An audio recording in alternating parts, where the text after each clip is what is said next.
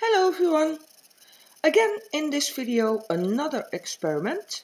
This time I'm going to use uh, some mica pigments and I don't know if this is going to work with the flower technique but we will find out together at the end and uh, I hope you all don't get bored because I make a lot of coasters lately but I have so much fun making these so for the new people to my channel that like tutorials of resin or acrylics, mixed media and a lot more, consider to subscribe. Click the notification bell and select all because that way you don't miss anything. So another experiment, this time with some mica pigments of my own natural mica pigment line Just Paint. And I don't know if this is going to work because mica pigments, if you mix them in resin, the density is totally different than when you use ink. Ink is always transparent. And mica pigments mixed in resin, not. So, yeah. I don't know, but we will find out together at the end uh, if this uh, flower technique also works with uh, mica pigment. So the first color I'm using is one of my own natural mica pigment line, Just Paint. It's the Cotton Candy. Very nice, soft pink color. And next to it another mica pigment and this is the White Lily. Has a beautiful uh, pearl effect.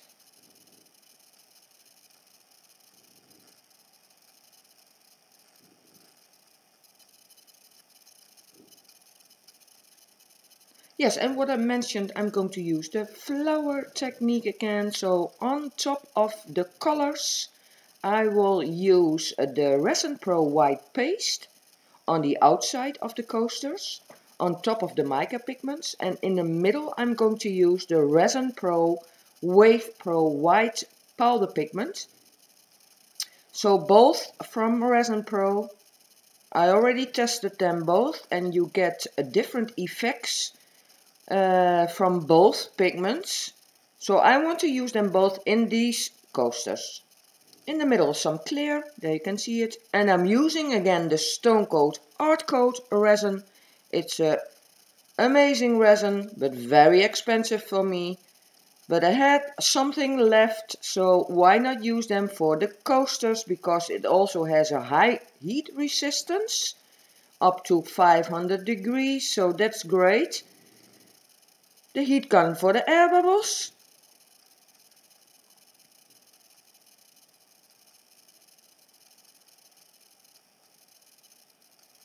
And the mold I'm using from a Dutch company called Molds and Shapes. They don't have a website, but they have a Facebook page. And uh, you can order this mold on the Facebook page. For the people in Europe, they have a, a, a button uh, where they can uh, click on and then they can buy it. But for the people outside of Europe, you need to uh, send them a message if you are interested in this mold. It's an amazing mold and um, if you fill the cavities totally to the top, then the uh, coasters are one and a half centimeters thick. So very thick. And uh, at the moment they also have uh, a two molds that go with these coasters. They have a holder where you can place your coasters in, but they also have a serving tray now. Also, in, all, both are in a geode style, so uh, yeah, they are amazing. And I will put, of course, the link to the to their Facebook page in the description box. So if you're curious, go check it out. So in the middle I already placed some uh, real uh, crystals, uh, two uh, different ones, one in the cherry color and one in the rose color. They are real quartz crystals, so that's great. And I also used some white crust glass together with the crystals. Again the heat gun for the bubbles. And now I'm adding some silver leaf. Maybe that will look nice because the middle part is still transparent, no colors yet. And what I already know is where there is no color, so only transparent resin, the white will sink to the bottom.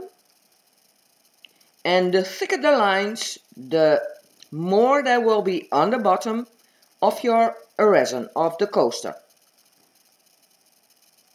So uh, when I uh, add the design uh, of the white on top of the resin, I will use uh, thick lines, thin lines. It's all about experimenting, see what I get on the other side of the coaster, so on the bottom of the coasters.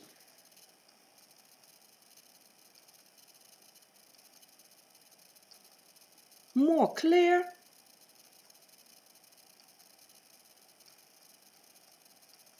And what I also know is that the paste, the white paste, is heavier than the white powder pigment. So that's why I'm using the white paste on the outside on top of the mica pigments. But I'm not sure if that is going to work because mica pigments uh, mixed in resin, the density is much more than uh, when you use ink in your uh, resin. It has, if you put white on top of the mica uh, pigments, then it has a much more resistance of those mica pigments to fall through.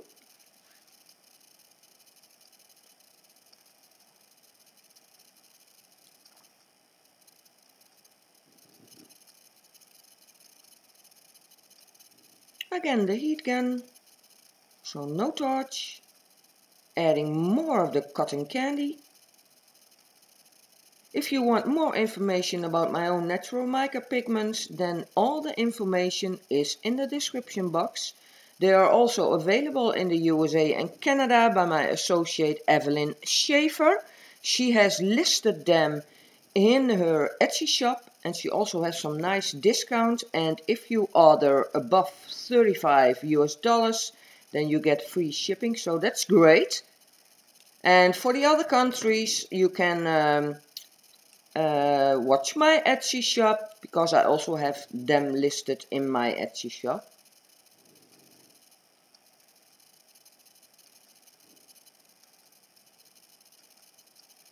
Now I'm adding the white paste on top of the mica pigment. There you can see it. Hopefully it will sink to the bottom.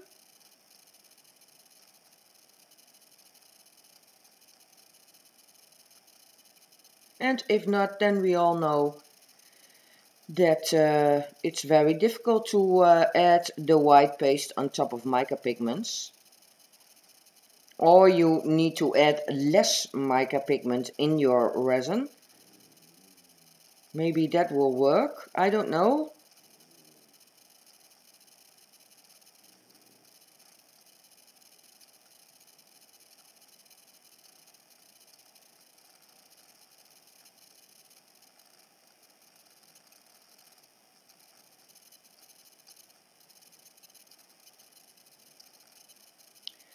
Yeah, now I'm using the uh, Resin Pro Wave Pro powder pigment.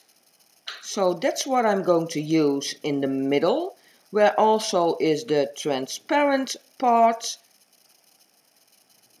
And I'm making thick lines, thin lines. And hopefully I will get a nice design on the back of my uh, coasters.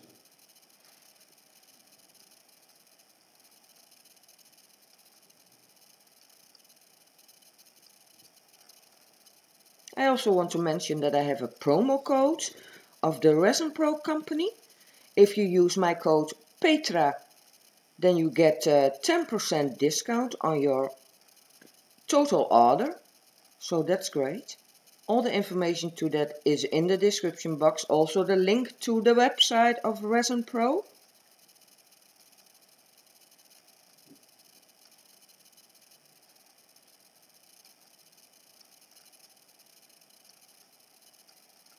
So you can see I'm using another design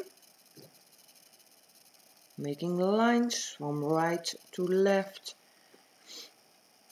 and top to bottom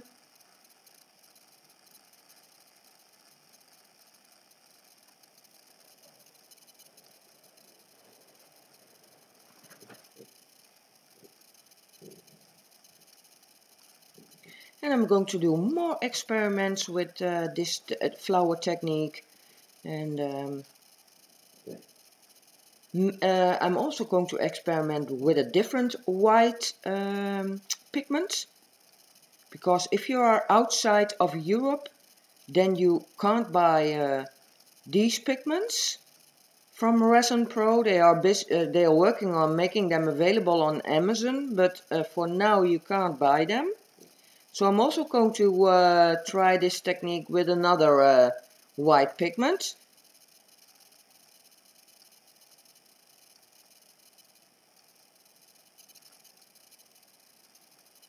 Because I have a lot of white pastes from different uh, brands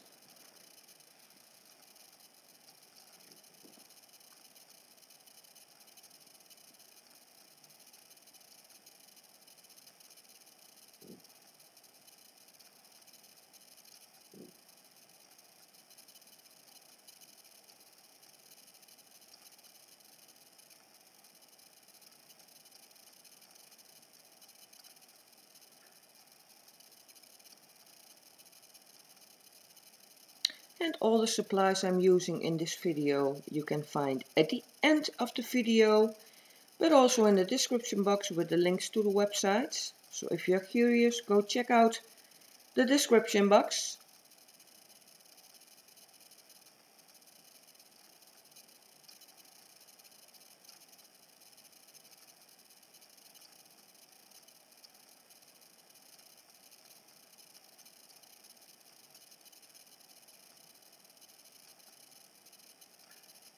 So you can see I'm making thin lines but also thicker.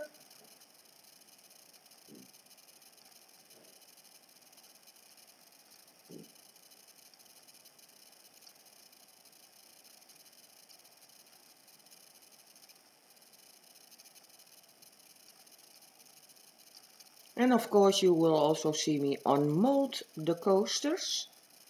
But yeah, then they need to dry first for 24 hours.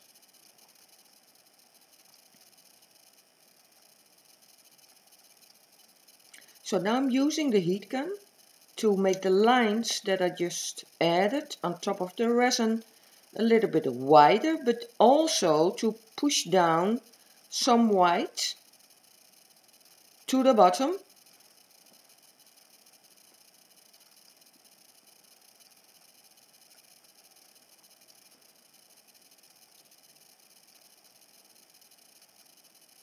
You can already see it changing.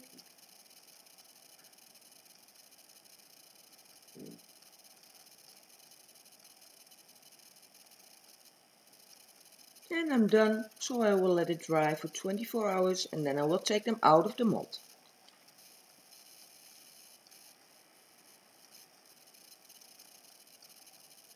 So we are 24 hours later and I can take the coasters out of the mold. Yeah, this side is also very pretty. It has a lot of depth, you can't see it uh, now, but uh, it's very nice. And the colors are so soft. I like this also. I like bright colors, but I also like this. And the coasters uh, come very easy out of the mold, so no problems there. And about the mold, I clean my molds always with Dawn dish soap and a little bit of water yeah, first I remove the, the parts of resin, the larger parts of resin that I have on the mold, and then I will uh, use Dawn dish soap and a little bit of water to clean the mold. I never use alcohol, because if you use alcohol, then you can damage your mold. Silicon, um, yeah, you can't use alcohol together with silicon. It will break down the silicon. So that's why I'm using uh, Dawn dish soap.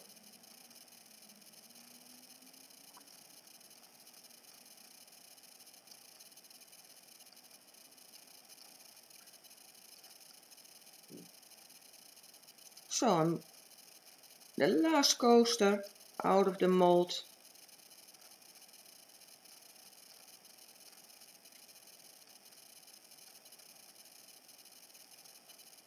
So I don't know yet what the backside is, but we will find out now together.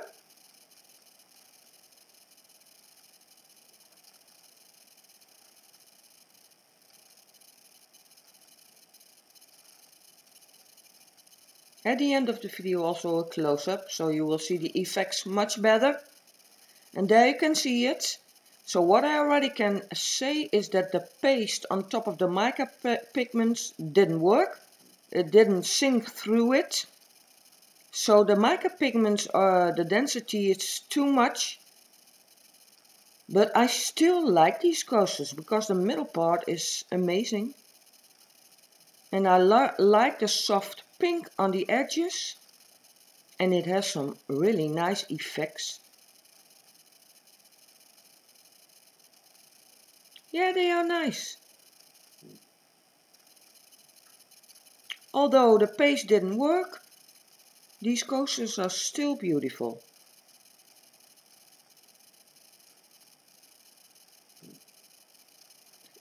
Let me know what you think of these coasters.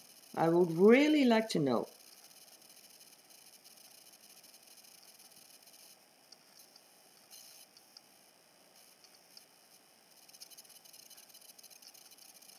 So this is the end result. I have them outside in the daylight. Hopefully you can see uh, the effects. So you can see the paste didn't work on, on top of the mica pigments. It didn't sink through. But the middle part is amazing. Yeah, that's very difficult to see with all the reflection of the light. But the, the middle part is very transparent and then you have the nice white effects of the pigment powder from Resin Pro. And in the middle the, the real crystals. Yes, I'm liking these uh, coasters. A little bit closer now. Maybe you can see it now much better. So this experiment um, I succeeded half because the paste didn't work but the powdered pigment in the middle is amazing. But I will do some tests more with some mica pigments and paste and powder to see if I can uh, get it better. But if you like what I'm doing, consider to subscribe to my channel. Give me a thumbs up for this video because that will help my channel a lot. And uh, all the information about the mold and all the uh, materials I've used uh, you can find in the description box with the links to the websites. Also um, information about my own uh, natural mica pigment line you can find in the description box with the links to the Etsy shops. There's a lot of information in the description box because also my Facebook, Instagram, influencers, Amazon store is in the description box. So yeah, if you're curious, then go check it out. I want to thank you all for watching again, and I will see you in the next video. Bye!